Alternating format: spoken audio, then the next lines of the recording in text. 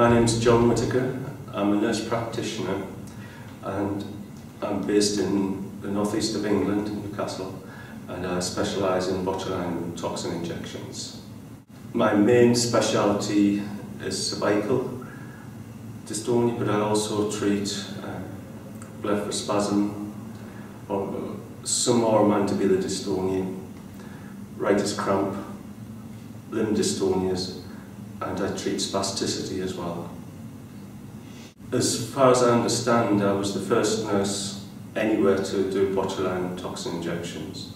Um, prior to that, it was only doctors.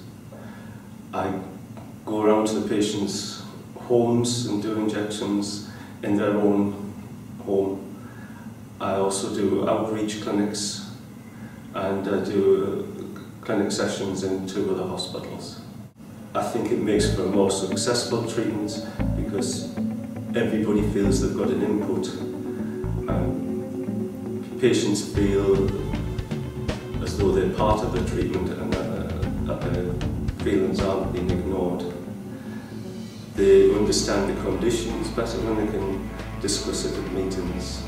They also see the level of dedication which some of the consultants would put into that work.